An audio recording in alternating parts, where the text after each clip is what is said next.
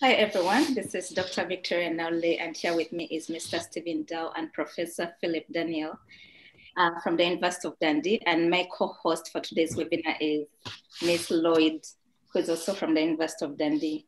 So in today's discussion, we're going to focus on taxation and, trans and transfer pricing of oil and gas in the oil and gas sector. But before we start, I would like our speakers to introduce themselves. I'll start with Professor Philip Daniel. He will introduce himself, giving us his professional background. And then thereafterwards, Stephen Dow will also introduce himself. And my co-host Lloyd will also introduce herself. Uh, thank you very much, Victoria. Good morning, uh, everybody. Uh, my name is Philip Daniel. I'm an honorary professor at the Center for Energy uh, minerals and petroleum law and policy at the University of Dundee and uh, teach there in master's programs and do some supervision. Uh, before that, uh, I spent nearly 10 years at fiscal affairs at the IMF, where I was deputy head of the tax policy division and then an advisor in the director's office and did uh, more than 50 country missions uh, advising and was co editor of a couple of books, uh, one of which is very relevant to uh, this topic. Uh, and it's called International Taxation and the Extractive Industries. And it contains contributions not only by me, but by Dundee's very own Peter Cameron. So that's my introduction. Thank you very much. All right, thank you very much for the introduction. Stephen Dow, would you like to introduce yourself? Very briefly, um, I'm Stephen Dow. I'm Senior Lecturer in Energy Law at the Centre for Energy, Petroleum, Mineral Law and Policy at the University of Dundee. I have 25 years experience of teaching students from all around the world. I teach upstream issues and downstream issues as well, touch of financing. Um, my interest is very much in, in, in gas and what happens with, with its uh, flow and its value chain, etc. Um, and um, oil is, is where the money is and gas is kind of where the excitement is. That's kind of my view of the, um, how it all works or supposed to work. That's enough. Kevin, Lloyd, would you like to introduce yourself? Hello, everyone. Uh, my name is Lloyd, Lloyd Matias da Silva, and I am a student at the University of Dundee. I also have the pleasure to have Mr. Stephen Dow as one of my professors and also my advisor of studies. Um, so welcome everyone to our webinar in taxation and transfer pricing of multinational oil companies. And thank you, Dr. Victoria, for inviting me to co-host this webinar with you. Uh, thank you very much, Lloyd. Uh, we shall start with Stephen's introduction or brief background with respect to taxation and transfer pricing. Stephen, the floor is yours. Do you want me to share up slides? Yes, please. Uh, that one.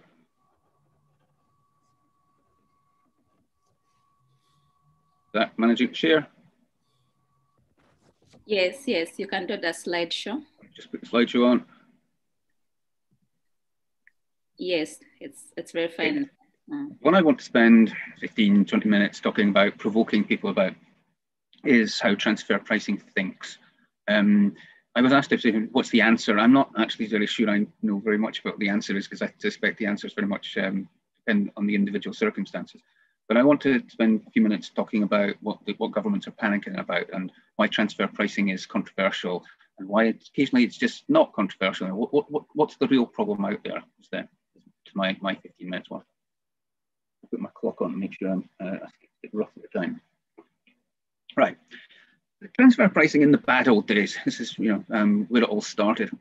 What the idea of transfer pricing is to try and play games with tax. What it does is it plays games with the tax base. And you can see this through its original idea um, or its original form. And what used to happen is that um, the producing company would sell its oil to its daughter company at very low price and pay tax to the host, the, the producing state on that very low price. And that was the, the, the, the original form of the ancient form of, of transfer pricing. But you can see its effect. What it does is it erodes the tax base. That particular form of transfer pricing isn't particularly difficult to deal with. All governments have to do at this point is uh, think about how, how, they will actually write the rules to, um, to control the tax base itself. So all they do is simply say, instead of paying uh, tax on your actual proceeds, you will pay tax on the market value of the crude. So there's a deemed um, um, payment. And so, so even if you actually go ahead, sell off the crude to your daughter company at a dollar a barrel or whatever it might be, um, then the government says that's not what really happened as far as the tax system is concerned. What we'll do is we'll charge you tax on the market price of the, of, of the crude. You can see the same thinking behind the, the, the posted price system of the um, 1950s, 1960s, where governments are simply saying instead of paying tax on whatever you get, uh, the actual amount of money, you will pay tax on a deemed value. So in a posted price system, if the price is $10 a barrel, you can then simply say you will pay tax as if the price was $20 a barrel. And you can see that what this is doing is moving the tax uh, from the, um, it's, it's, moving the tax base around. Um, what the, the, on the market value, you, the, the government is simply protecting its, its tax base. On a posted price system, what the, the, the, producing government is doing is making sure that the tax base stays in its country rather than gets sent back to the home country of the, um, the foreign investor. So that form of transfer pricing just simply isn't a problem. You just change the rules, you get around it quite, quite easily and quite straightforward. It's, uh, it, isn't, it isn't a challenge. But that's kind of where the, the, the, words come from. Transfer pricing, meaning you're transferring at a, at a weird price. But remember, the idea here is you're playing games with the tax base. Now, in reality, um, you know, life gets a bit more complicated when one easy route gets shut off for um, investors to try and play games and get some tax exemptions that some others might not think they're entitled to, and some might think they're entitled to, and start a discussion about. Um, remember that you know, um, in production sharing contracts in particular, it's the definition of the cost that matters.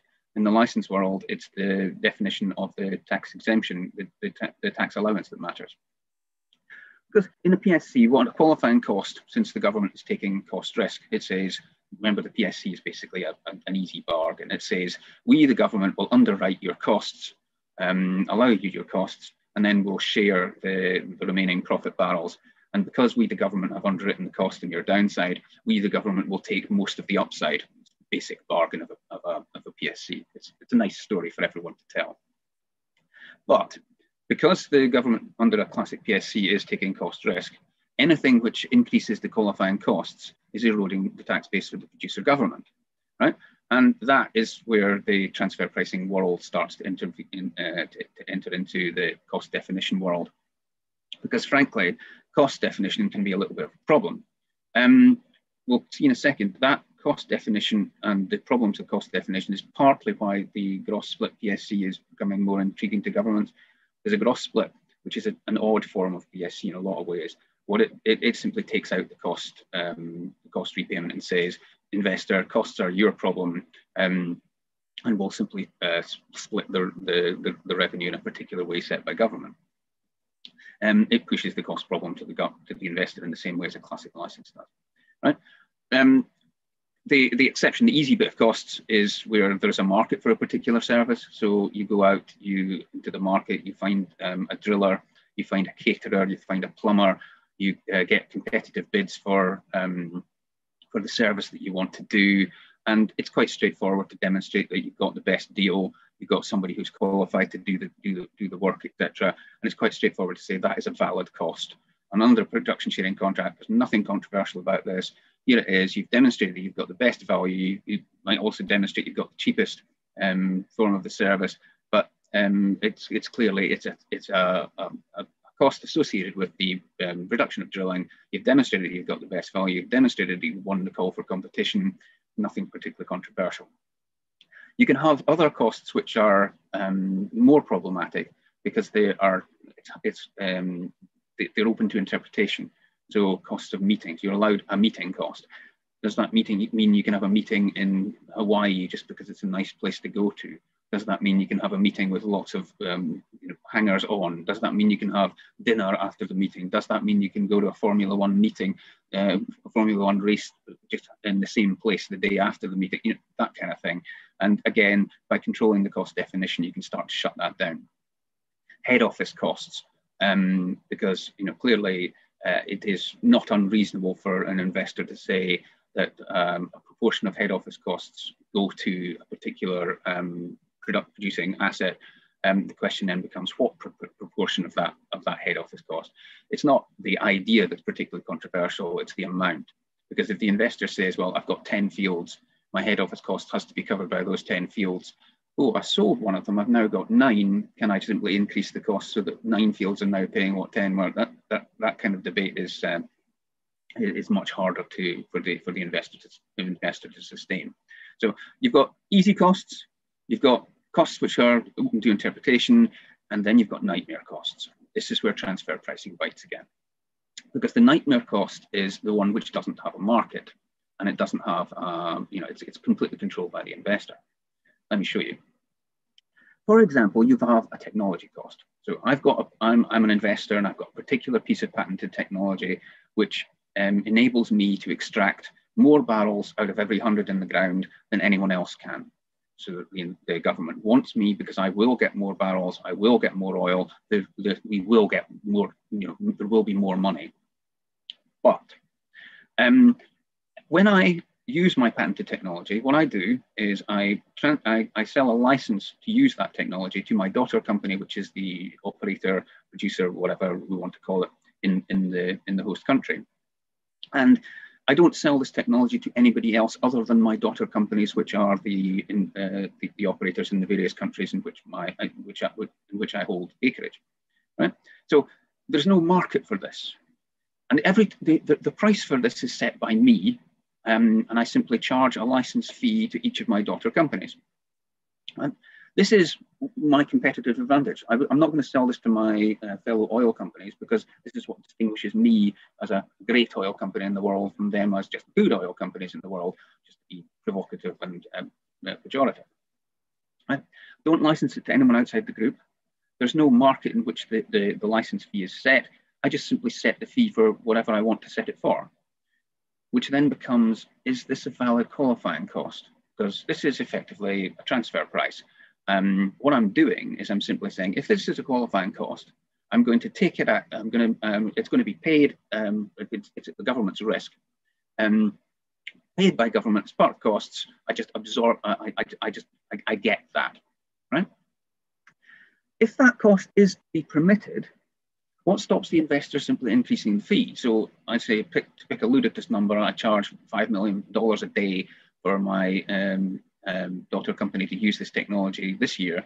And then next year, because the government is crazy enough, mad enough, good enough, the least is applicable, to allow me that cost, then next year I say, well, I'll charge $6 million a day.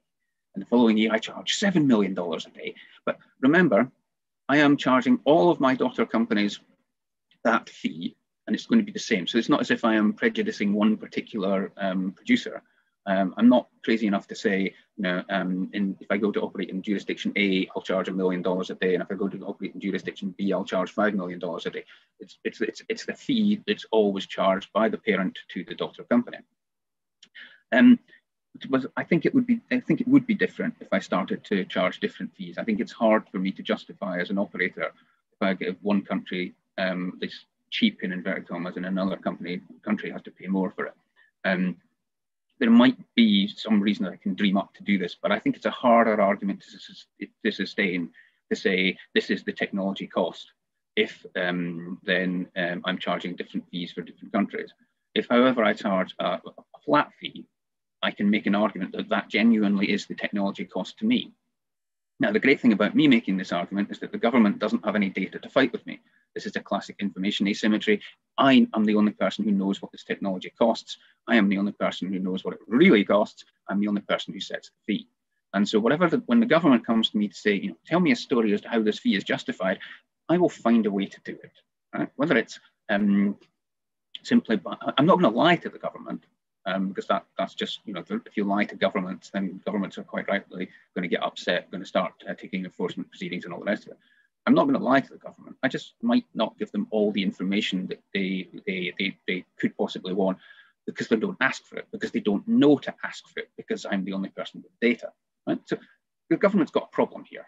Government has a real problem here. And the question then becomes, is this a valid cost? Right. Next part of this is, what do governments do? Well, you can do nothing, accept it as a cost and potentially see the tax base eroded. That is an option. You can disallow the cost, which simply says, you know, there's no market for this. Um, we're just simply not going to play this game at all. We, the government, will um, simply say, you know, you're, you're, you're not getting this at all. Now, if you're not going to, the government, remember, wanted me as the investor, it, and it wants to be the basic idea of a PSC that government takes cost risks. So it might give me something back through some form of an uplift of costs. So it says, on the market costs, instead of having 100% of market costs, you can have 125% of market costs, just to pick a random number. Um, and that compensates me for not getting my non-market costs paid as qualifying costs. Or the government can split the difference and so allow some sort of proportion of costs.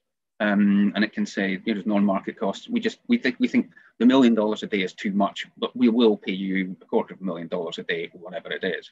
Now that gets you into horrible territory in law because there's no real um, you know, there's, there's no real methodology to, to, to allow that. that that's that's in, in completely arbitrary territory. So what logically the thing to do as government is, or the, the, logically the legal thing to do is simply to disqualify the cost. And so if you're disqualifying the cost, you have two options. You can simply say this is a standard PSC, we'll disqualify the cost. Or you can look at the big picture and you can say, well, this is part of the drive towards um, you know, the, the gross split and changing the, the classic production sharing contract into some people are calling the modern production sharing contract the gross split PSC. Now, gross splits are quite new. They haven't been around all that long. We don't really know that much about them. And they're quite odd things um, because they're really changing the nature of the PSC.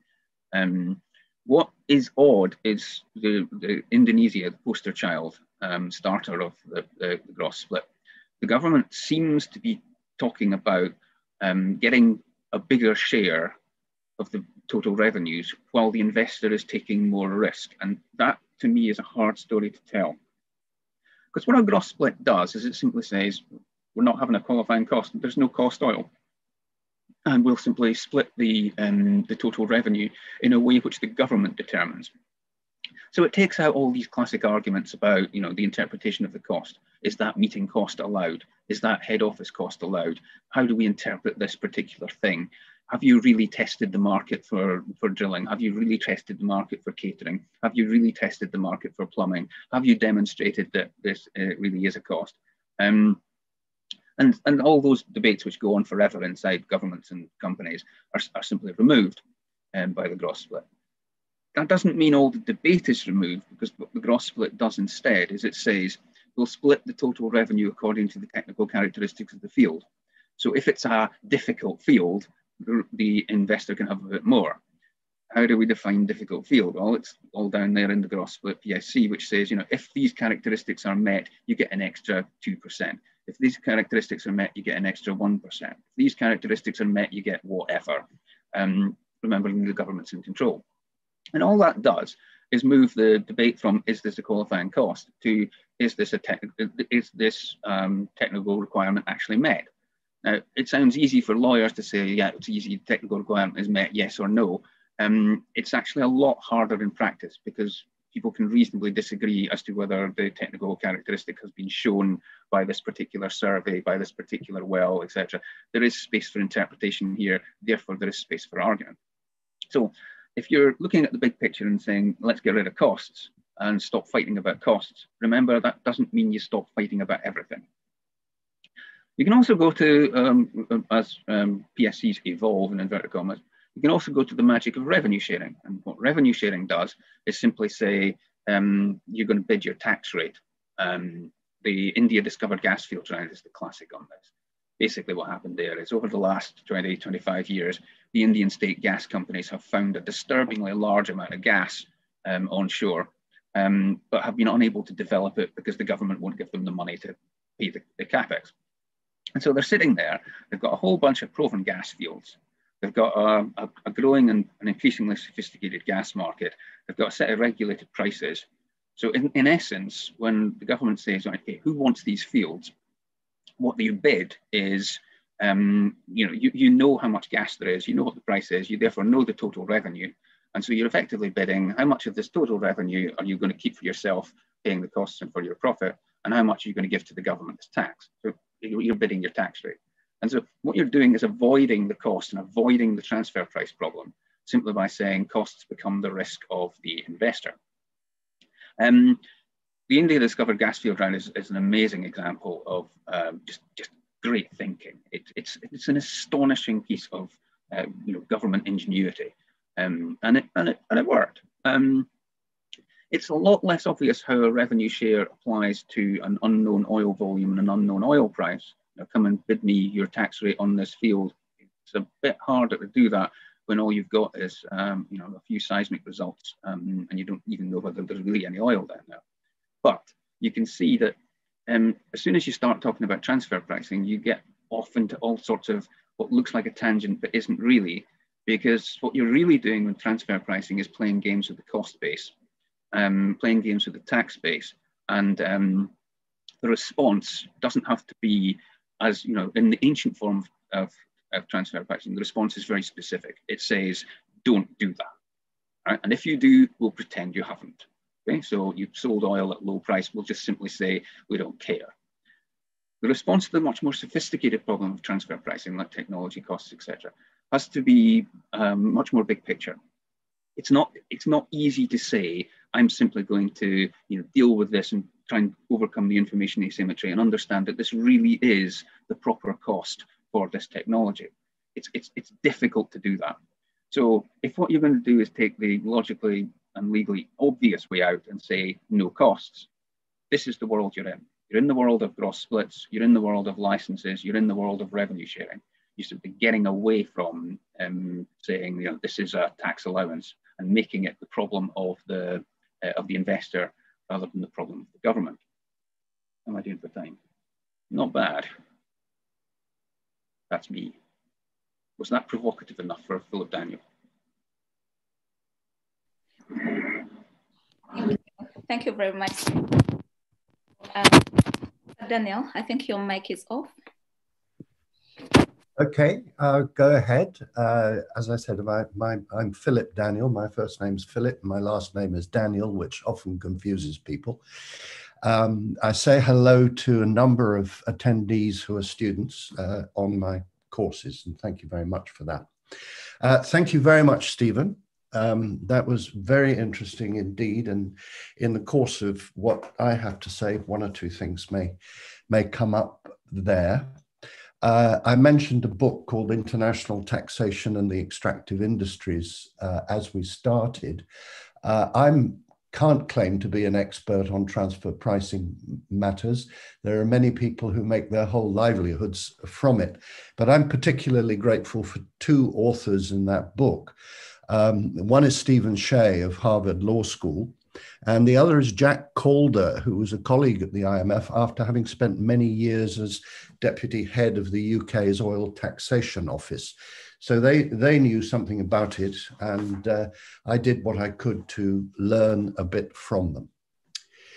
Um, transfer pricing is the transfer of value between commonly controlled businesses.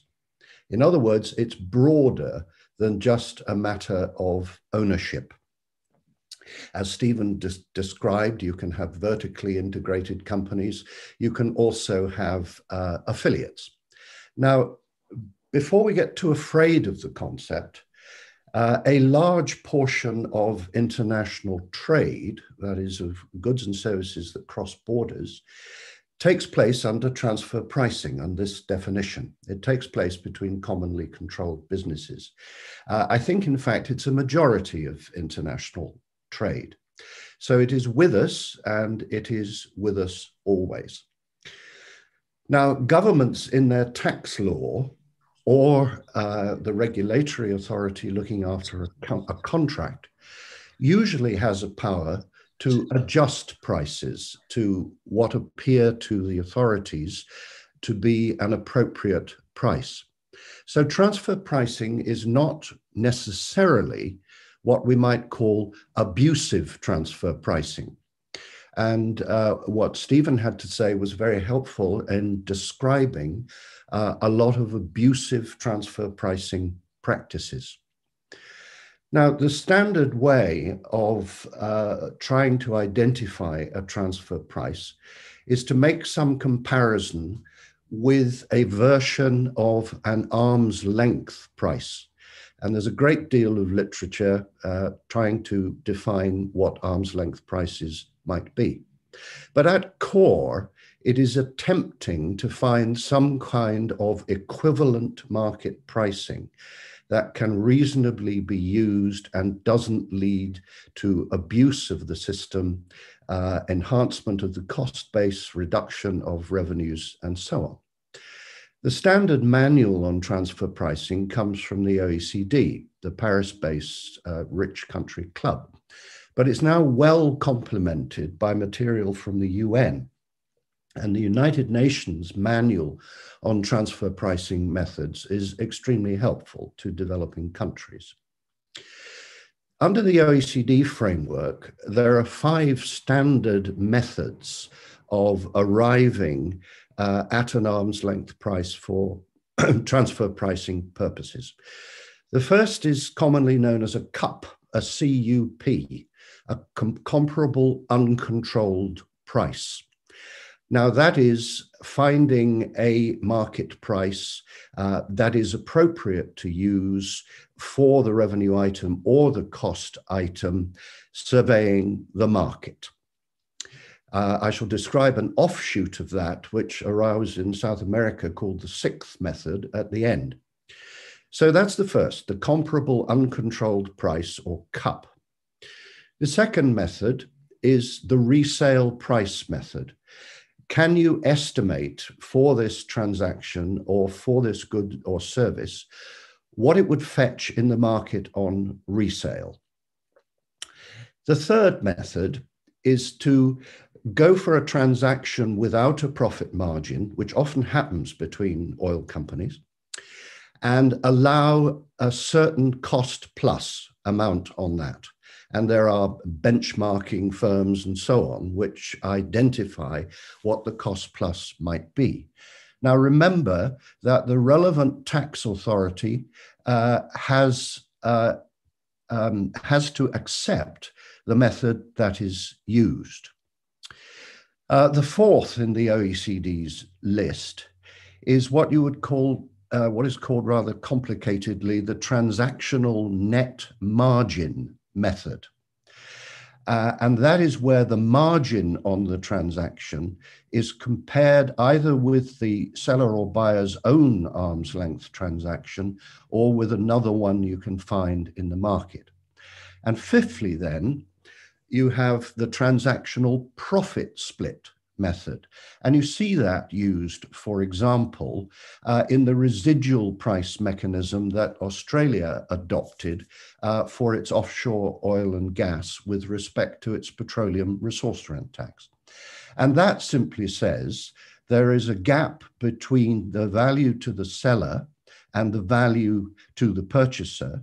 And that value will simply be split between the parties, and that will be accepted for tax purposes on both sides. Now, the sixth method uh, is an adaptation of the comparable uncontrolled price. And that was first used, I believe, in Brazil. Stephen may be able to correct me. And instead of searching the market for a comparable uncontrolled price, the government or an international organization maintains a database of comparable prices.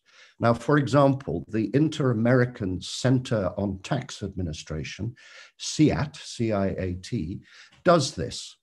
Uh, if you look up CIAT or look up accountants that deal with that area, you will see reference to the CIAT database uh, of comparable uncontrolled prices that can be applied in some circumstances. And I believe the Brazilians legislated such that their tax office could use this to assign prices to uh, transactions that they felt were not at arm's length or with market prices. Now, those are the, the six conventional methods, and people in accounting firms make a very good living uh, helping companies and sometimes governments to apply these methods. One only needs to use one of the methods. An alternative, of course, is for the parties to agree yet another method of their own and to get the authorities to do it, uh, to accept it. Now, that is what happened when I conducted negotiations on a couple of agreements and a unitization uh, for the government of East Timor. Was that uh, a rate of return method uh, was used uh, it was put to scrutiny of the authorities of both East Timor and uh, Australia, uh, and an agreement was reached that the methodology could be used. The methodology didn't actually set a price, but it was the methodology that would be applied in reaching a price. Now, in individual transactions, the main problem uh, is that the seller and the buyer uh, will, as is the definition, be under common control. And there will be a lack of adverse interests. Now, by adverse interests, we mean that the buyer is interested in the lowest price possible and the seller is interested in the highest price uh, uh, possible. So that's some of the general material. Now, in the oil industry, it is very common for ventures around the world to be unincorporated joint ventures. Now, that's a, uh, a legal arrangement which is not a partnership, and nor is it an incorporated company. It is where uh, all costs and revenues are shared uh, by the parties to the joint venture agreement as many of you will know, one of those parties will usually be the operator. Now, the operator and the non operator parties therefore have adverse interests. Both have to supply cash, but only one is actually purchasing and applying things. Now, the presence of that adverse interest is very important in looking after costs in the oil industry and it is something on which governments can perhaps piggyback. So let me come into the oil sector. Uh, first of all, what is the incentive to abusive transfer pricing? Well, the main incentive is that the concentration of higher tax or production sharing in favor of the government is usually in the upstream. That is where the rent, the surplus over all the minimum necessary costs of production, is that's where the rent is supposed to reside.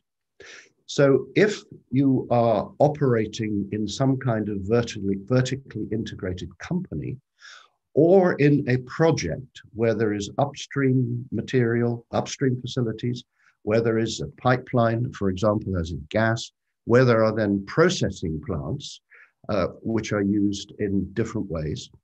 There are, of course, transfer prices at each of these stages. There's the possibility of abusive transfer pricing. So the authorities have a role in determining what the price will be. And of course, there is the idea of capturing rent. Now, if the taxation or the production sharing in favor of the government is much higher in the upstream, then of course the part the, the private parties have a big interest in moving uh, costs upstream. Uh, and, and that is why it is appropriate to develop formulae uh, for the proper cost plus or the proper profit split in moving between the two phases. There's a lot of opportunity for abusive transfer pricing, principally because uh, there are international transactions involved and there are international means of minimizing tax, not least passing transactions through tax havens, where they may, may be lightly or perhaps not taxed at all. And there are means uh, in um, tax law of dealing with that problem. Then, as both Stephen and I have mentioned, there is the vertical integration of companies so that they can shift costs from activities which are lightly taxed to activities which are heavily taxed. However, there's a counterpart there sitting in favor of the government. Now, on the output side, on the revenue side, it should be considerably easier to value crude oil than it is to value many other project uh, products. And it certainly applies that it's probably easier to value crude oil products um, than it is to value many mineral products. The issue, of course, is sales to affiliates, and as in the broad case, how to establish an arm's length price. Well, we do have some advantages. From any one reservoir, there's usually a consistent quality of oil. The measurement of quality differences between crudes is reasonably straightforward, and if a government doesn't have the capacity, it can hire it. There are many international quoted benchmark prices, and you'll be familiar with many of them Brent, West Texas Intermediate, Dubai, uh, and so on. Quantities in total can be monitored by good physical monitoring systems. You'll be aware, both from tales from Iraq and from Nigeria, of intervention with monitoring systems being a key to misappropriation of oil and to false or abusive transfer pricing. You may, of course, with crude oil, need an adjustment for transport costs. And once again, there are benchmarks and there are exchange. Um, there are exchanges which, uh, on which uh, freight costs are listed. Now, those are all potential advantages, but it doesn't take away from the considerable administrative difficulty and the compliance risks. Uh, I once visited BP's trading floor in London and found that daily and hourly they were monitoring something approaching 200 different benchmark prices. Now, it is difficult for a government to replicate that, so it needs to reach agreement with companies on what benchmarks will be used and where the source of information will be.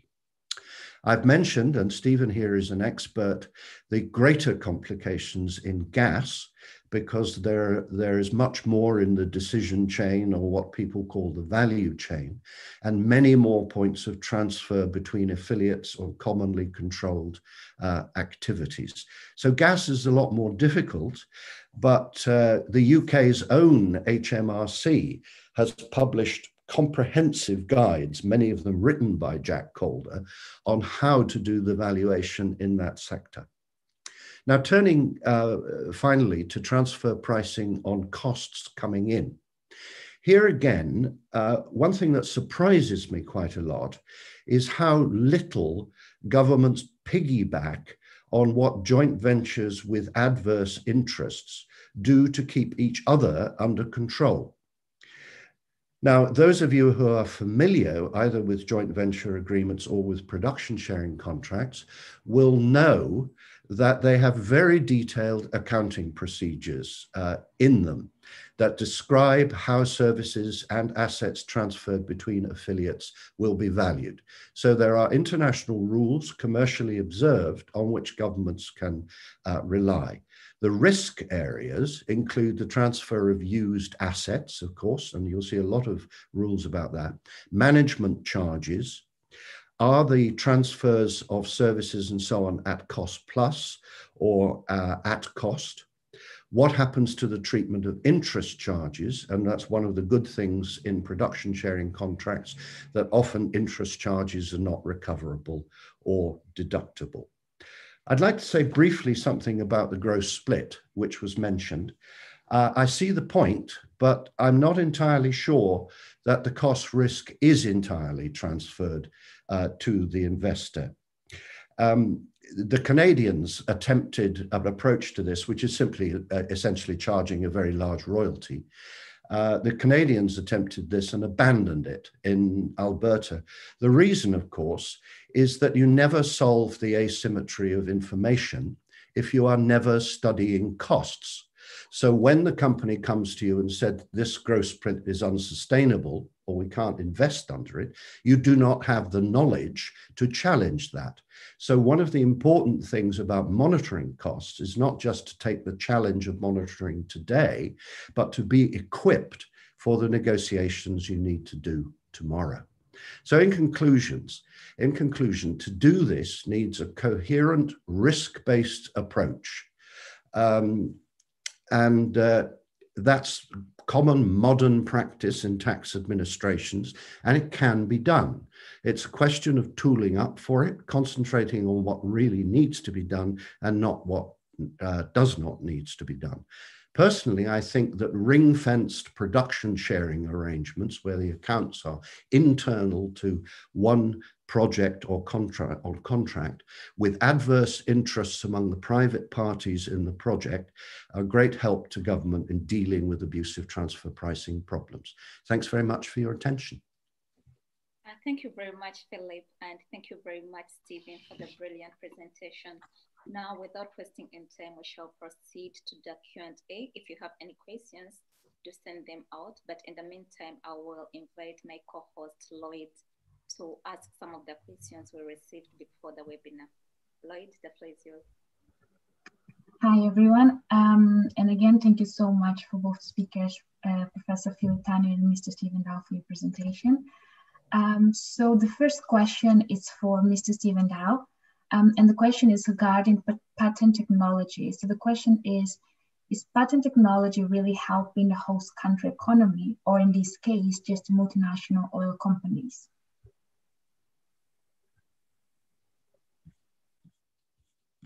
just practicing pressing the button twice to make sure I actually remember to unmute.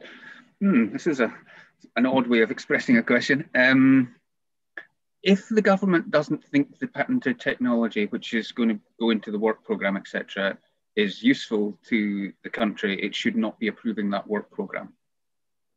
Uh, I think is the, the the only real way to answer a question like that.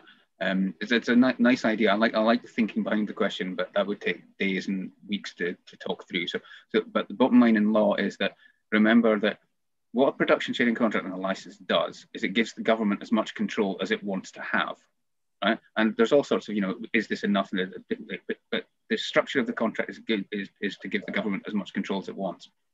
And if it wants to be able to kick that out, it should be able to do that um, through its, uh, you know, consent um, protocols for the for the work program. I'll stop at that. Do you want to dive in there? Uh, no, not, not particularly. um, I, I, do. I do just pick up uh, your point in the chat. Um, Stephen, which is which is clearly uh, correct. Uh, cost does matter to both the operator and non-operator, um, but it's the non-operator who doesn't have control over the costs, and for that reason, the accounting procedure of the joint ventures uh, is very, very important, and is something on which I think governments could rely rather more than they do. I think that's a lovely point. That the government actually what's going on inside the venture is actually also useful data to government. And I, th- I think that, that, that that's the, the takeaway from today. And you know, I've really learned something in there. That, that's an excellent point. Anyway, sorry, Lloyd, you were next question. Okay, thank you so much, uh, Mr. Tiva, for the answer, and thank you, Professor Philip, as well, for, for adding up. Uh, the second question is for Prof Professor Philip Daniel. And um, so the question is regarding transfer price abuse. And the question is, should COVID-19 and its results to the worldwide economy force the law to adapt or bend concerning transfer price abuse legislation? Well, that's a very good question indeed. And um, I, am probably not going to answer it by saying that transfer pricing legislation should be altered, but I think it makes it especially important, and this is not just in the oil industry, that contracting procedures for services and goods are followed. The thing that has gone wrong in a great deal of government procurement during COVID is the emergency single source procurement. Uh, that's where the abuses have come. And I know that there's good excuse for that in some cases, and maybe you need to um, you need to correct it in retrospect. But that's about procurement of COVID 19 PPE, emergency services, and all the rest of it. There really isn't any excuse uh, for why, say, the practices of an oil company in procurement should have become non competitive and not market related as a result of COVID. I, I, don't think that should have happened. And government should be using their regular enforcement practices. Thank you so much, Professor Philip Daniel. Um, Mr. Stephen Dow, would you like to add up to this question? I'm unmute. Um, I would very much agree with that. I think the, the response is less in the detail and more in the, the, the functioning of the, um, of the procurement function. You know, the actual got to make it work. There's no excuse for um, you know failing to use uh, market comparators when or markets when you know rather than get, and, and having lots of bidders. And there's the when you know there's not actually a um, you know unless you absolutely need to. Right? And, and that's basically what Philip said. I, I agree with that. Thank you so much, uh, Mr. Stephen Dow. So the next question is for both of our speakers. Um, and the question is, what is your personal opinion on the current taxing system in extractive resources and the transition to a low carbon future? So should the taxation system continue to change in order to fasten the transition to a low carbon future? Yes or no, and why? Stephen, do you want to have a go? that's that's the hospital pass. You get to go first on this one. This is, is a monster um, because there's so much, there's so, so many connections here which aren't quite as um, obvious as they might be. Uh, it, a lot of this boils down to what do you use the um, money you raise from oil to actually do? And one of the huge problems in the energy transition is that there are a number of countries in the world where oil taxation is virtually the only source of revenue for governments. And in the event that oil taxation disappears, i.e., people stop buying oil, then they don't have anything to fall back on. Um, they've got nothing else. Um, and, and, and the response to that is very much about diversity of the economy, which then suggests that you should be using oil revenues to help diversify the economy. And it, it gets into that kind of debate. Um, I think the the, the biggest long-term problem though is what the tax base in uh, after the energy transition looks like for countries for, for countries who are currently dependent on oil revenue um, and I think that that is a is a question I, I have no idea what that looks like I, I mean what in the renewable sector what do you tax I mean you can't tax wind it doesn't make any sense um, you know what is it the thing what is the thing that the government is actually um, um, you know, what what is the, the tax base uh, going forward? Um, the, the question really relates to the, the interim. Um, if I was a country who's trying to look for oil now and trying to become dependent on oil for the next 20 years, I think I'd be thinking very hard um, rather than simply trying to copy what countries have done for the last 40, 50 years. Um, I, I, think, you know, um, if I'd had 40 years of production, I'd be in a happier position than if I'm going to get 20 years of production. Um, and I'm going to defer to Philip at this point. Um, th- th- those are fair. I, I, I, really only have a supplementary comment. I mean, obviously, in a, in a perfect world uh, where we were all governed by the United Nations, uh, we would be allocating the right to produce to the poorest countries.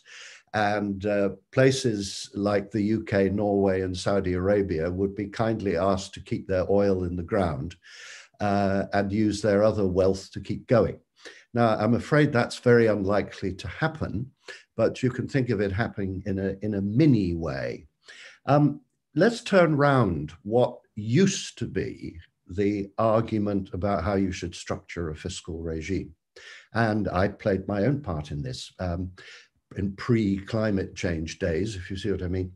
I mean, there was a view which became prevalent in Norway in their tax system and in the UK that you should progressively do away with royalties after you've started uh, your oil industry. You should move more to something that is really, uh, sorry, you should move away from anything that is like a gross split.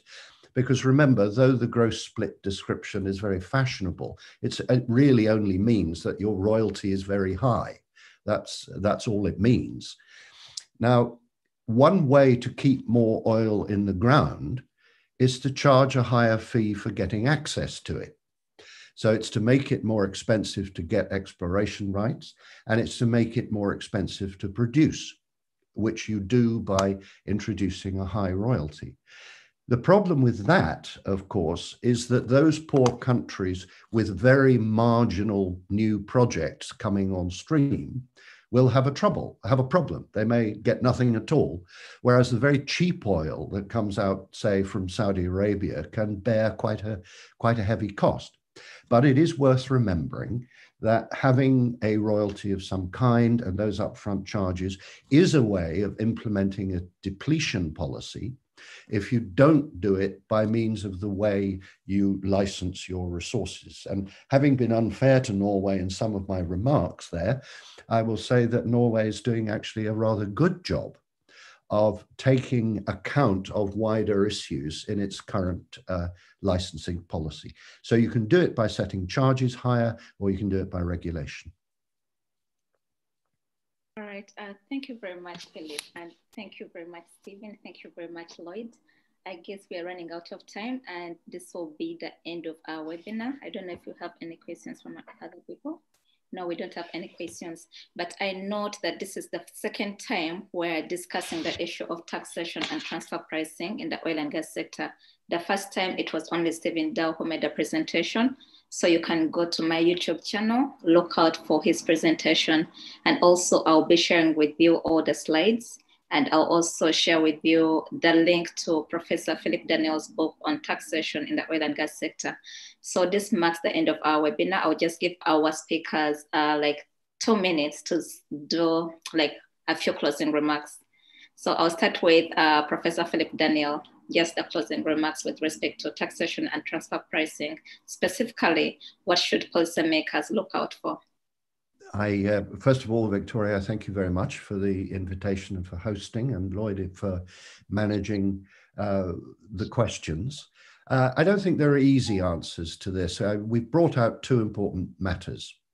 Uh, one is that governments have devices uh, such as the use of intra company, intra venture information that they can get and rely on, whether they're a participant or not, uh, which can help uh, in dealing with abusive transfer pricing.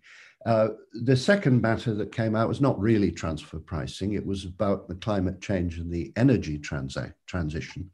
And we did see that possibly the balance of fiscal systems could change more in the direction of upfront charges. And not only might that help governments with reliable revenue, but it might imply that there is uh, fewer oil projects are actually economic, so rather fewer fossil fuels would be produced. But thank you very much, everyone. All right, uh, thank you very much uh, Philip Daniel. I'll go to Stephen Dow, your closing remarks with respect to. Again, thank you very much for this opportunity to have some discussion and be, be provocative without um, you know, much responsibility coming back to me. Um, I think we've learned two things out of this. One, governments have lots of tools. And the problem is often that governments aren't using these tools or aren't being seen to use these tools we've seen bits and pieces which come up in the chat and the questions that you know you, you can look at this and there are actually mechanics for governments to do things which some of them don't seem to be doing. So i think enforcement is is, is very important. But whenever you go to enforcement you have to remember what exactly you're going to enforce. So the detail that philip talked about is is is of incredible importance when you're actually going to enforcement. And and thank you very much. thanks again all right. Uh, thank you very much, Stephen. Thank you very much, Professor Philip. I'm sure our viewers uh, will share with you their contact details in case you have any other questions with respect to taxation and transfer pricing.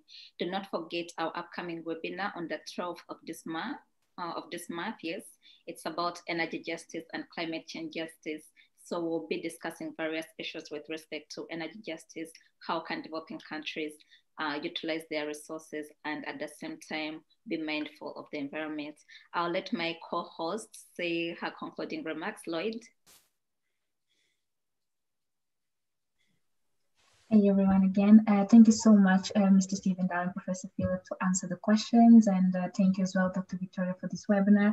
Uh, I could see that we have uh, one last question, uh, but like Dr. Victoria said, we'll be sharing the email from Professor Philip Daniel and Stephen Dow. So please feel free to email your questions to them. And thank you everyone for being here today. All right, thank you very much. This marks the end of our webinar. Bye-bye and see you on the 12th of this month. Of this month. Bye bye. Thank you very much.